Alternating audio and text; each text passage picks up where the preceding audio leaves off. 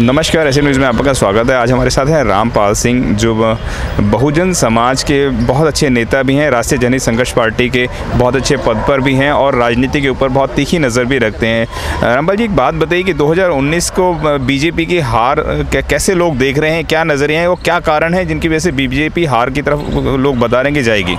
Sir बहुत बहुत धन्यवाद आपका। मैं सर बीजेपी के हार के संदर्भ में मैं कहना चाहूँगा कि बीजेपी हारी नहीं है बीजेपी जान पूछ के खुद हारी है हराई नहीं है।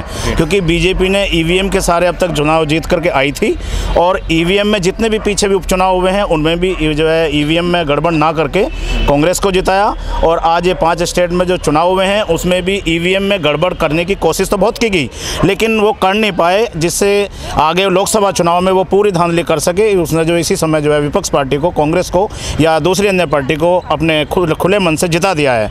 तो मैं ये कहना चाहूँगा कि जो है बहुत बी तो पहले से ही हारी हुई है। और आगे भी हारेगी। उसने तो केवल ईवीएम का सहारा लेकर के राज कर रही है। ईवीएम का सहारा लेकर के वो जीत रही है। बाकी उसका पास वोट बैंक नहीं है। वोट बैंक तो अन्य पार्टी, जैसे कि पहले बहुजन समाज पार्टी में भी था, आज वो खिसक के हमारे राष्ट्रीय जन संघर्ष पार्टी की तरफ़ बढ़ रहा है और हमारी पार्टी, राष्ट्रीय जन संघर्ष पार्टी सत्ता में आएगी, बहुत जल्दी आएगी, बहुत तेज़ी से बढ़ रही है। हमारे इसमें कार्यकर्ता बढ़ चढ़ करके भाग ले रहे हैं। जी। 2019 के इलेक्शन नज़दीक है। क्या लगता है कि कौन सी पार्टी का प्रधानमंत्री आ पाएगा कौन सी पार्टी को आप देखते हैं सत्ता के अंदर? सर, देखिए, हम तो अपनी पार्टी का प्रधानमंत्री देखना चाहेंगे, लेकिन अभी हमारे लिए संभव नहीं है, क्योंकि राष्ट्रीय जनहित संघर्ष पार्टी हमारी जो है, इसमें जो हमारे राष्ट्रीय अध्यक्ष हैं, जो हमारे भानु प्रताप जी हैं, हम उनको प्रधानमंत्री देखना चाहेंगे, लेकिन ऐसा भी संभव नहीं है। तो इसीलिए एक निष्पक्ष तो बहुमत किसी को भी नहीं मिलेगा, खिचड़ी पकेगी। और खिचड़ी पकने में देखिए किसका बनता है?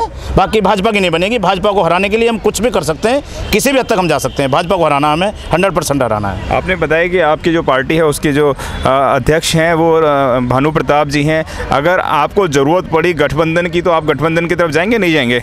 सर अगर हमें ज़रूरत पड़ी भाजपा को हराने के लिए तो हम गठबंधन ज़रूर कर सकते हैं कोई दिक्कत नहीं है हमें कोई आपत्ति नहीं है लेकिन हमें भाजपा को हराना किसी भी कीमत पर आए हरा करके हम उसको साथ देंगे। चलिए हमारे चैनल से बात करने के लिए बहुत बहुत धन्यवाद आपका। Thank you sir thank you